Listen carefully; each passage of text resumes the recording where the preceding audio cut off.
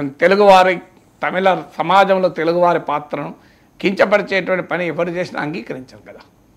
Sir. Sir మరొక అంశం. దక్షిణాదికి అన్యాయం జరుగుతుంది. జనాభా లెక్కల ప్రకారంగా అన్నది పెద్ద ఎత్తున ప్రచారం జరుగుతున్న అంశం. అంటే జనాభా లెక్కల ప్రకారం అన్యాయం కాదు. జనాభా లెక్కల వల్ల జరిగే application of the population data. Sir. ఎందుకంటే మనకు జనాభా ద్వారా రెండు డైమెన్షన్స్ ఉంటాయి. ఒకటి ఎకనామిక్ రెండు పొలిటికల్ ఎకనామిక్ డైమెన్షన్ ఏంటంటే కేంద్ర ప్రభుత్వ నిధులు రాష్ట్రాలకు కేటాయించేటప్పుడు ఫైనాన్స్ కమిషన్ ఒక ఫార్ములా ఉంటుంది. ఆ ఫార్ములాలో పాపులేషన్ కూడా ఫిఫ్టీన్ పర్సెంట్ వెయిటేజ్ ఉంటుంది. అలాగే ఎన్- ఆ, ఏ రాష్ట్రంలో ఎన్ని ఎంపీ సీట్లు ఉండాలి అనే అంశానికి కూడా జనాభే ప్రాతిపదిక. అందువల్ల జనాభా అటు కేంద్రం నుంచి నిధులకు ప్రాతిపదిక లోక్సభ సీట్లకు ప్రాతిపదిక. ఓకే. అందువల్ల నై ఇప్పటి వరకు నైన్టీన్ సెవెంటీ వన్ జనాభా లెక్కల్నే ప్రాతిపదికగా తీసుకొని అటు కేంద్రం నుంచి నిధులు కేటాయింపుకైనా ఇటు నియోజకవర్గాల పునర్విభజనకైనా నైన్టీన్ సెవెంటీ వన్ సెన్సెస్నే ప్రాతిపదికగా తీసుకున్నారు. ఎందుకు అంటే సెవెంటీ వన్ తర్వాత కుటుంబ నియంత్రణ అనేది దేశంలో మొదలైంది ఒక యుద్ధ ప్రాతిపదిక మీద. అప్పుడు సౌత్ ఇండియన్ స్టేట్స్ కొన్ని అభ్యంతరాలు లేవనెత్తాయి. మేము ఒక జాతీయ లక్ష్యమైన జనాభా నియంత్రణకు దోహదం చేస్తుంటే మమ్మల్ని ఎకనామిక్గా పొలిటికల్గా పనిష్ చేయడం ఏంటి అని ప్రశ్న రైజ్ చేశారు. ఈ ప్రశ్న రైజ్ చేసినప్పుడు వయా మీడియాగా చెప్పింది ఏంటంటే మీకు ఫస్ట్ ఇరవై ఐదేళ్ళ పాటు లోక్సభ సీట్ల పైన ఫ్రీజ్ విధించారు. ఇక ఎన్ని సీట్లు ఉంటే అన్నే ఉంటాయని. ఇది టూ థౌజండ్ వన్లో అయిపోయింది. సెవెంటీ సిక్స్లో ఈ ఫ్రీజ్ విధించారు. సెవెంటీ సిక్స్లో లోక్సభ సీట్లను రాష్ట్రాల వారిగా కేటాయించినప్పుడు సెవెంటీ వన్ సెన్సెస్ ప్రాతిపదికగా కేటాయించారు. సో దాన్ని ట్వంటీ ఫైవ్ ఇయర్స్ వరకు లోక్సభ సీట్లను మేము పెంచము అని ఒక నిర్ణయం తీసుకున్నారు. టూ థౌజండ్ వన్లో వాజ్పేయి ప్రభుత్వం ఉండగానే మరో ట్వంటీ ఫైవ్ ఇయర్స్ దాన్ని ఎక్స్టెండ్ చేశారు. అంటే ఇప్పుడు టూ థౌజండ్ ట్వంటీ సిక్స్లో డీలిమిటేషన్ వస్తుంది. టూ థౌజండ్ ట్వంటీ సిక్స్లో వచ్చే డీలిమిటేషన్కు ప్రాతిపదికగా ఇప్పుడు మళ్ళీ టూ థౌజండ్ ట్వంటీ ఫైవ్లో జనాభా లెక్కలు జరుగుతున్నాయి. అందువల్ల నైన్టీన్ సెవెంటీ వన్ జనాభా లెక్కలు కాకుండా టూ థౌజండ్ ట్వంటీ ఫైవ్ జనాభా లెక్కల ఆధారంగా గనక లోక్సభ సీట్లను కేటాయిస్తే సౌత్ ఇండియా రిప్రజెంటేషన్ గణనీయంగా తగ్గుతుంది. సార్. ఇప్పుడు ఉన్న ఐదు వందల నలభై మూడు సీట్లు అలాగే ఉంటే ఇప్పుడు సౌత్ ఇండియాలో నూట ఇరవై one twenty nine one thirty seats ఉన్నాయి. ఇవి వన్ నాట్ ఫోర్ పడిపోతాయి. ఒక అంచనా. కార్నీజీ ఫౌండేషన్ వాళ్ళు జరిపిన రీసెర్చ్ ప్రకారం. అదే మీకు ఒక ఉత్తరప్రదేశ్లోనే నలభై ఆరు సీట్ల పైగా పెరుగుతుంది అంటే ఇప్పటికే సౌత్ ఇండియా పొలిటికల్గా మార్జినలైజ్ రేపు రెండు వేల ఇరవై ఆరులో కనుక డీలిమిటేషన్ చేపడితే తాజా జనాభా లెక్కల ఆధారంగా సౌత్ ఇండియా రిప్రజెంటేషన్ భారీగా పడిపోతుంది. అప్పుడు వ్యతిరేకత రాకుండా ప్రభుత్వం ఏం చేసే ఆలోచనలో ఉంది అంటే సీట్లు పెంచుతారు అందరికీ. పెంచి ఏం చేస్తారు? తెలంగాణ మనకు సౌత్ ఇండియన్ స్టేట్స్కు రెండు మూడు పెరిగితే యూపీకి బీహార్కు నలభై యాభై పెరుగుతాయి. ఓకే. ఆ రకంగానైనా సీట్లు పెరిగినట్టు కనబడ్డా ఓవరాల్గా పొలిటికల్ పవర్లో షేర్ మొత్తం తగ్గిపోతుంది పొలిటికల్ ఇన్ఫ్లుయెన్స్లో. ఇది సౌత్ ఇండియాకు తీవ్రమైన అన్యాయం జరగబోతోంది. అసలు ఇప్పుడే మనకు ఢిల్లీలో సౌత్ ఇండియా అంటే ఒక చిన్న చూపు కనబడుతుంది. ఇది ఇంకా పెద్ద ఎత్తున సౌత్ ఇండియన్స్ అంటే చిన్న చెప్పు. బాధ ఏంటంటే దేశ ఖజానాకు ఎక్కువగా కంట్రిబ్యూట్ చేసేది సౌత్ ఇండియా. దేశ పవర్ హౌస్ సౌత్ ఇండియా. మీకు లక్నోలో సాఫ్ట్వేర్ లేదు బయోటెక్నాలజీ లేదు మీకు ఆధునిక ఎకానమీ పాట్నాల లేదు భోపాల్లో లేదు జైపూర్లో లేదు ఇక్కడ ఎక్కడా లేదు మీకు. ఉన్నదల్లా మళ్ళీ మనకు బెంగళూరు చెన్నై హైదరాబాద్ అంటే దేశ మోడర్న్ ఎకానమీకి కంట్రిబ్యూట్ చేసేది సౌత్ ఇండియన్స్. దేశ ఆర్థిక ఖజానాకు పరిపుష్టి ఇచ్చేది సౌత్ ఇండియన్స్. ప్రపంచవ్యాప్తంగా భారతదేశానికి గుర్తింపు తెచ్చింది సౌత్ ఇండియన్స్.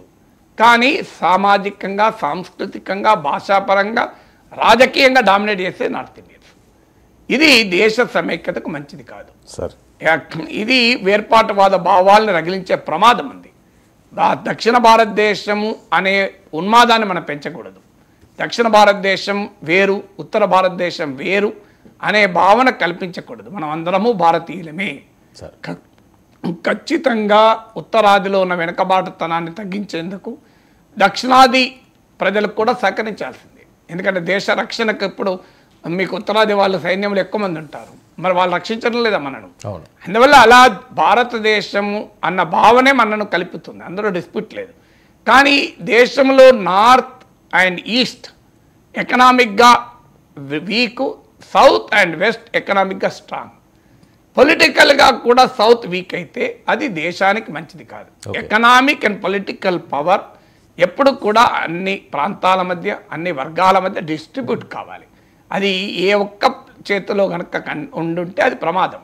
ఇక ఎకనామిక్గా కూడా ఏం లాస్ అవుతుంది అంటే ఇప్పుడు ఫిఫ్టీన్త్ ఫైనాన్స్ కమిషన్ వరకు కూడా నైన్టీన్ సెవెంటీ వన్ సెన్సెస్ను మాత్రమే తీసుకునేవారు పాపులేషన్ ఆధారంగా నిధులు కేటాయించాలన్నప్పుడు. కానీ ఫిఫ్టీన్త్ ఫైనాన్స్ కమిషన్ నుంచి రెండు వేల పదకొండు జనాభా లెక్కలు తీసుకోవడం మొదలుపెట్టారు. ఇప్పుడైతే నెక్స్ట్గా లేటెస్ట్ జనాభా లెక్కలు కూడా తీసుకుంటారు. దానివల్ల పెద్ద ఎత్తున నష్టం జరుగుతుంది. ఒకవైపు ఏమో సౌత్ ఇండియాకు జనాభాలో వస్తున్న మార్పుల వల్ల భారం పెరుగుతుంది. ఎందుకంటే ఇప్పుడు మనకు టూ పాయింట్ వన్ ఇది రిప్లేస్మెంట్ రేట్ అంటారు రిప్లేస్మెంట్ అంటే జనాభా స్థిరంగా ఉంటుంది. Two point one percent total fertility rate సంపూర్ణ సంతాన సాఫల్య రేటు అంటే సగటున ఒక కుటు ఒక couple two point one children కనుక ఉంటే టూ పాయింట్ వన్ ఎట్లుంటారని మీరు అనొచ్చు. అంటే అర్థం పది మంది పది కపుల్ పది మంది ఉంటే ఇరవై కేంద్రం నుంచి తక్కువ నిధులు పొందుతాయి. జనాభా తగ్గించడంలో విఫలమైన రాష్ట్రాలేమో ఎక్కువ నిధులు పొందుతాయి. మీకు ఉదాహరణే ఐదు సౌత్ ఇండియన్ స్టేట్స్ కలిపి ఫైనాన్స్ కమిషన్ ద్వారా twenty eight thousand one hundred and fifty two ఇరవై ఎనిమిది వేల నూట యాభై రెండు కోట్లు వస్తే ఒక్క ఉత్తరప్రదేశ్కు thirty one thousand nine hundred and sixty two crores ముప్పై ఒక్క వేల తొమ్మిది వందల అరవై రెండు కోట్లు వచ్చాయి ఇది అంగీకరించుదామా? సొమ్మొకటిది సోకొడిది కాదా ఇది? పోనీయండి నిజంగానే ఏ అరుణాచల్ ప్రదేశ్ లాంటి రాష్ట్రం ఉంది? జమ్మూ కాశ్మీర్ లాంటి రాష్ట్రం ఉంది. దేశ రక్షణ కొరకు మూల్యాన్ని చెల్లిస్తోంది కాశ్మీర్. అలాగే అరుణాచల్ ప్రదేశ్ ఉంది నైసర్గికంగా భౌగోళికంగా. అక్కడ ఇబ్బందులు ఉన్నాయి. అలాంటి రాష్ట్రాలు మనం ఖర్చు పెట్టుకోవాలి తప్పదు. కానీ ఉత్తరప్రదేశ్ బీహార్ లాంటి రాష్ట్రాలు అభివృద్ధి కాకపోవడానికి కారణం భౌగోళిక నైసర్గిక కాదు.